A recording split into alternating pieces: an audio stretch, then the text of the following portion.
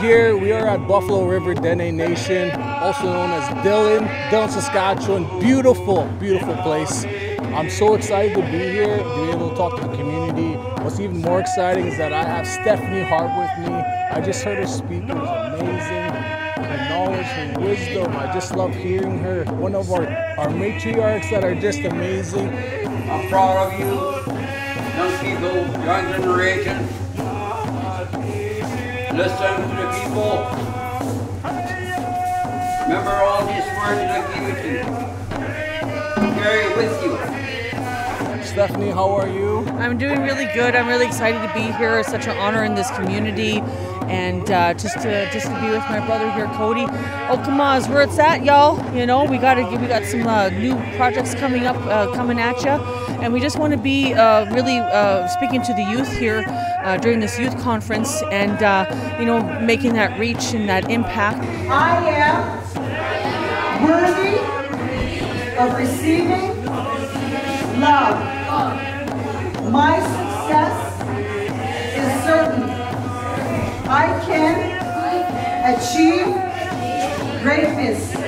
This is uh, Julian Sylvester, uh, one of one of the organizers for the event. Along with him is uh, Troy Benjamin, right? Renita. Yes, so you know, big thanks to them. Like they are putting this together. The, another thing that I love to bring attention to is the organizers of our communities that go out and do these events and these projects for our communities. Yeah, yeah.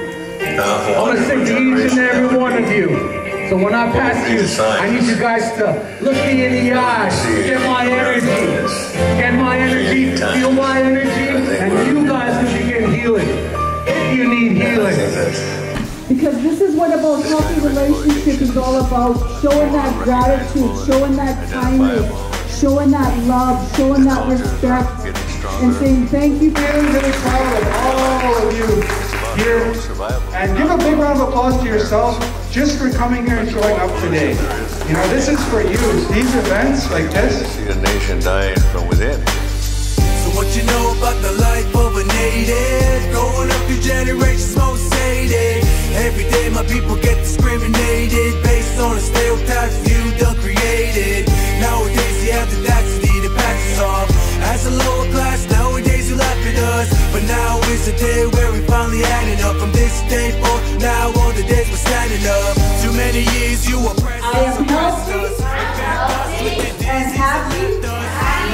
both, People not physical and forget it like it don't mentally. You could try to change history and hide that it wasn't genocide, but read between the lines and you will find war crimes masterminded. Now you wonder why people turn to suicide and The world wants to know the truth of what's happening to our people.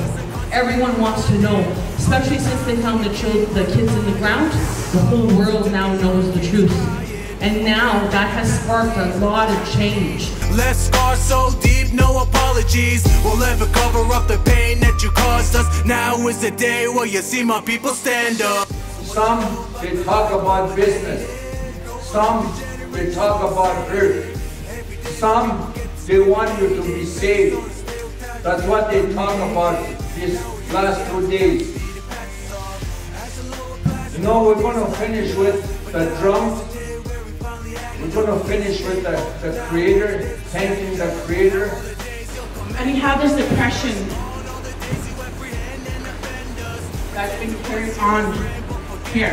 So that's the colonization. It impacts the residential schools. Deceit and the lies, a smile in the skies, but your eyes can't hide it. I tried my best. I wanted to defeat this pain that was within me. But I ended up finding out that when you're not ready, if you're not healing properly, it's gonna come in waves. It's gonna come in cycles. It's gonna come in a cycle, so one day you're doing good, you're doing so good, then the next day, you just wanna crash. But you know what, young people? Even when I was your young, your, age, when I was like 11 years old, 12 years old, when I talk about words, words are so powerful because whatever you part of your destiny. The whole world is looking at our native people, our indigenous people. And your generation right now, you guys can begin to say, you know what, I'm going to do something different. Today, today's the day that you take the time, take your power back. Today that you find the warrior, the matriarch that is living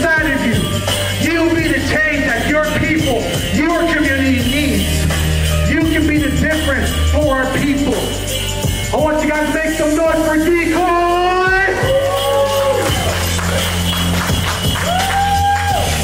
I love each and every one of you. Never be afraid to reach out to me. My messenger, my DM, my Instagram, my TikTok, they're all open for you guys to reach out to me.